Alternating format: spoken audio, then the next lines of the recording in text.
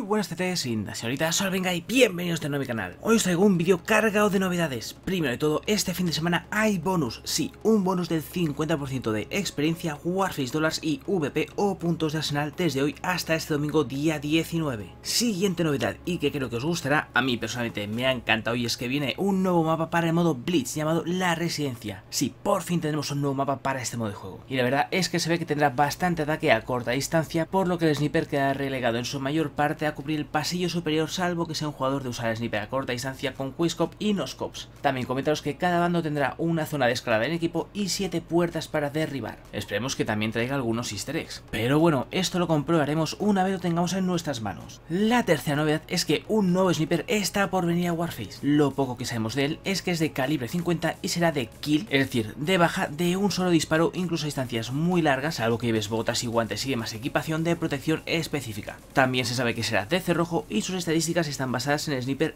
B5000 que ya tenemos en Warface. También lo tendremos en dos versiones, la normal y la dorada, la cual tendrá un cargador y un RPM mayor que la versión normal. Y sí, será un arma de cajas, lo que no se sabe si será de créditos o de Warface Dollars. También comentaros que han vuelto a poner arma de cajas de fusilero el ARX 160 en la tienda, eso sí, en caja de créditos. Y por última novedad por ahora es que para la siguiente actualización se viene un nuevo rango para el nivel 84, el Vitiaz. Y para conseguirlo costará 568.200 puntos de experiencia. Vamos, que hay que darle bien al vicio. Y finalmente sí, sé que muchos me habéis pedido información sobre el Atlas Software, así que no os preocupéis ya que mañana os la traeré con todas las novedades al respecto. Y nada chicos, hasta aquí este vídeo con las últimas novedades de Warface, que espero os haya gustado, os haya sido útil y nos vemos en el próximo vídeo.